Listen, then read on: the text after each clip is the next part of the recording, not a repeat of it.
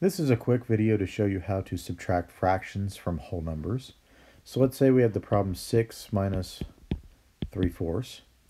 And anytime I'm doing fraction computation with addition and subtraction, I like to write my problems vertically uh, because it kind of lets me uh, separate whole numbers from fractions and distinguish those place values. So I'm going to draw a vertical line and on the left hand side, I'm going to put my whole number, 6. And on the right hand side, I'm going to put my fraction, 3 fourths. Now that I have my problem set up, I'm going to treat it just like I would with whole number subtraction. I'm going to start on the right side, and I'm going to attempt to take 3 fourths away. The only problem is, right now, right above the 3 fourths, I have nothing to take it away from. So just like with whole number subtraction, I'm going to have to do some regrouping.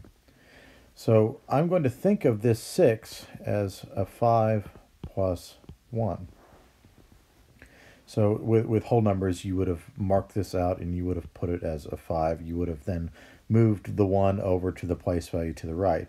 So with fractions here, I'm going to think of this as 5 plus 1, and then I'm going to take this 1 right here, and I'm going to do just like I would with whole numbers. I'm going to move this 1 to the place value to the right, which is my fraction column. But when that 1 moves to the fraction column, it must become a fraction. So I've got to look at what is the name of the fraction here. Well, the name of the fractions that I'm working with here are fourths. So when I move that one whole over there, it's going to, going to become fourths. So this is where my knowledge of fractions kicks in, and I know that there are four fourths in one whole. So now that I have regrouped that one whole over there, what I really am doing now is I'm really doing 5 and 4 fourths minus 3 fourths.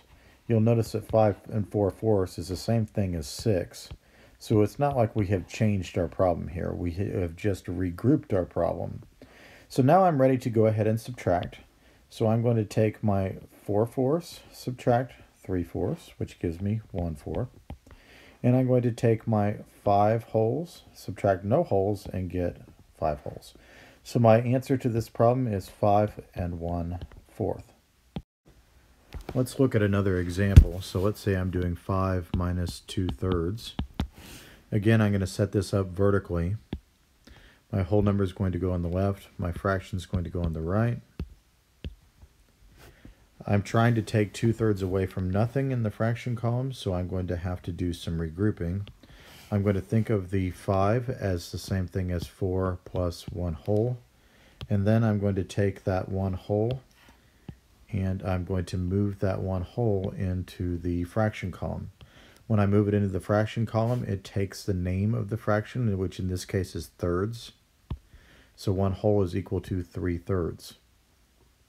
So what I really just did here is I took one whole away from five wholes, but I moved that whole over to the fraction column and made it 3 thirds. So what I really have is 4 and 3 thirds, which is the same thing as 5 wholes, minus 2 thirds. So 3 thirds minus 2 thirds is 1 third, and 4 minus nothing is 4. So my answer is 4 and one third.